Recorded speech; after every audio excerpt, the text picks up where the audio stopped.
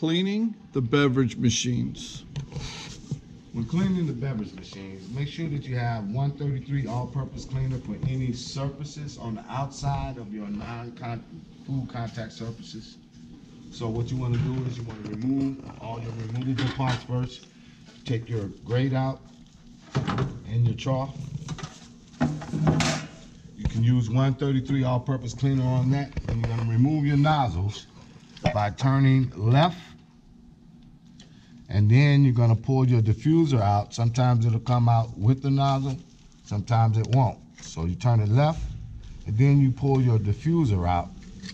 You're gonna let those soak in plain hot water. No 133 on that, that's a full contact surface. So turn left, then you pull your diffusers out.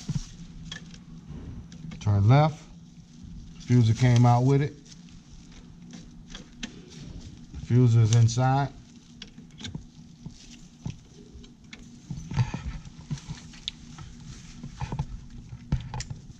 You're gonna let all of that soak in plain hot water. Then you're gonna get your towel. It's soaking in 133 all-purpose cleaner. And use that to wipe the front of your machine, the top, along the sides,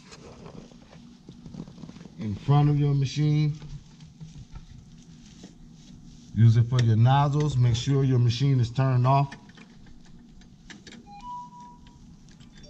If not, you can spray this stuff all over the place.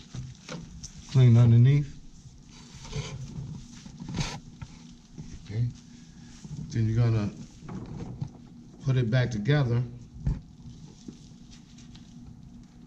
After your diffusers have soaked and your nozzles have soaked, just put the diffuser from the red rubber piece on the end goes in first.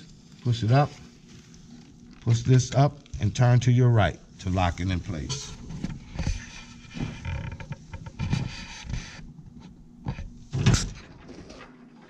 With your beverage machine, with your Powerade, gonna take that grade off.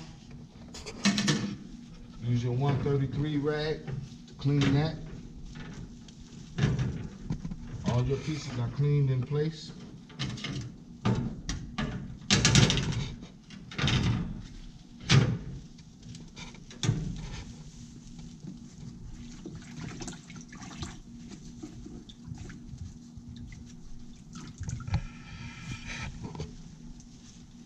Clean inside your trough.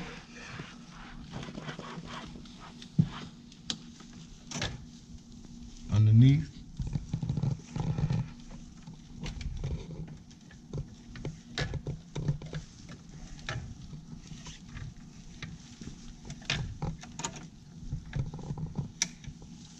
Clean the front, top, all underneath your machine.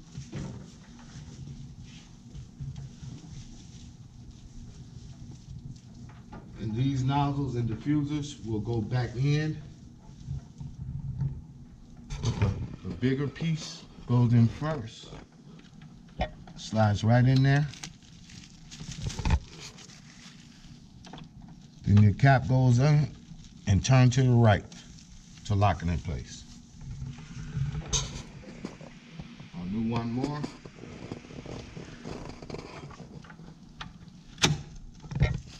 The Diffuser goes first. Cap goes in and turn it to your right to lock it in place.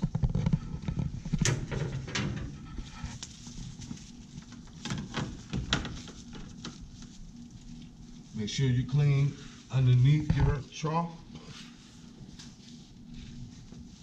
and your slide rails.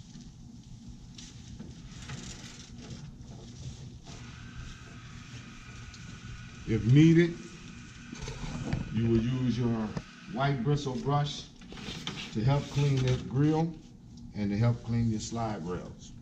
Make sure you clean underneath your cabinet doors for any spills that you might see open them up, clean inside and around your top.